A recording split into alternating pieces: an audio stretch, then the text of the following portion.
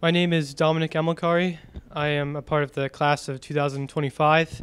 I am from Tabernacle, New Jersey, and a fun fact about me is I'm discerning the priesthood.